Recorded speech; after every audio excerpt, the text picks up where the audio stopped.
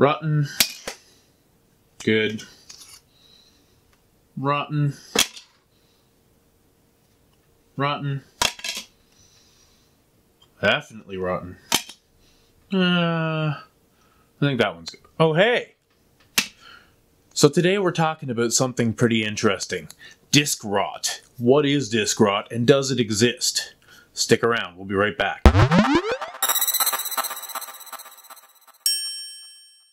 So just what exactly is disk rot? Well, there's a lot of conversation out there on an almost daily basis in video game groups on Facebook and stuff. I see people that have just recently heard about disk rot and have become very concerned about the future of their physical media and whether there's going to come a point at which all of it is unplayable.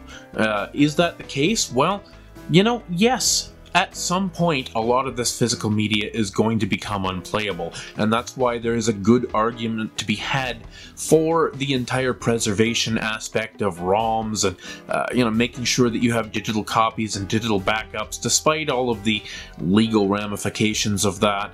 However, Disk rot is not what you think. Most people seem to think that disk rot, or disks in general, tend to have a degenerative disease. In other words, that all discs are slowly degrading to the point of unplayability, and that is just not the case. There are a couple of different situations where disc rot, so called disc rot, can occur. Uh, disc rot mostly occurs from poor manufacturing processes like substandard adhesives which are used between the layers in the disc which do tend to break down or have a chemical reaction between the plastic and the adhesive in the disc which does eventually render the disc unplayable. You can look at certain discs and if you look uh, real close and shine a light on the disc, you can sometimes see what look like tiny little pinholes in the disc, and that is a pretty good indicator of disc rot, and you may find that the disc does become unplayable relatively quickly, and it still looks pretty fine. You know, you've got uh, no scratches, whatever. You would think it would play, but it just won't. And there are situations where that does exist. However, disk rot is not what you think.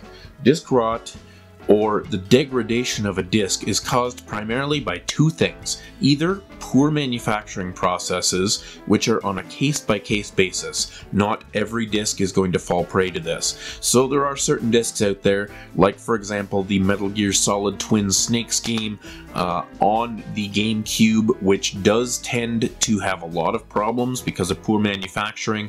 The label would split and crack on it, and uh, there would be problems from the top side of the disk, which would eventually affect the bottom side of the disk, and it will become unplayable. Uh, there are other disks out there that suffer from problems like that, particularly several on the GameCube. Uh, some on the Dreamcast, some on the Sega Saturn, especially as known for some bad discs. However, really the only way to take a properly manufactured disc and make it unplayable is through environmental situations. So, for example, if you take a disc and you put it face up on the dash of your car in the summer in the southern United States where your car gets to be 150 degrees with the windows closed, yeah, the UV light is going to damage the disc.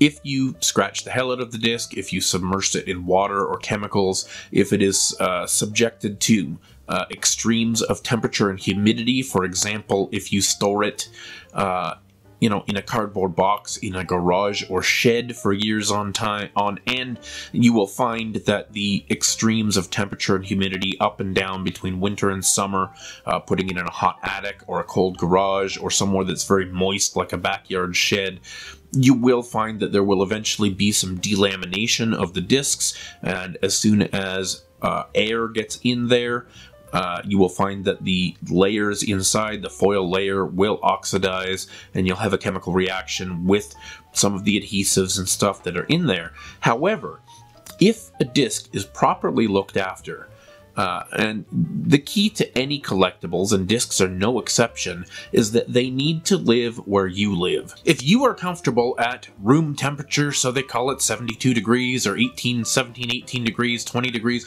whatever you're comfortable at is probably the same range that your collectibles are going to be comfortable at. That same level of temperature and humidity that most people carry in their homes on the main floor, so you're not storing it necessarily in a cold, unfinished basement, you're not storing it in the attic or the garage. If you keep your discs in the temperature and humidity controlled portion of your house and you look after them, you put them right back in the cases when you're done playing them. Uh, you know, it doesn't matter whether you store them vertically or horizontally, that's kind of a myth. Um, but absolutely, discs can last a very, very, very long time. I would expect a lot of these discs to outlive you. The main thing to figure out is disc rot, as it is, is not something you need to be afraid of if you know the chain of command of your game, you, know how it's been treated for its entire lifespan, and you just generally take care of it. You have it on a shelf in your living room or your man cave. Uh, you know, you take it out, you play it, you put it away. It's not going to degrade on you. Please do not worry. Do not get freaked out about disc rot. This is not something that happens across the board. It is only something that happens under certain conditions, either poor manufacturing or poor storage and handling one or the other. Anyways, guys, sound off in the comments what your stories with disc rot are. Let's try to get to the bottom of this.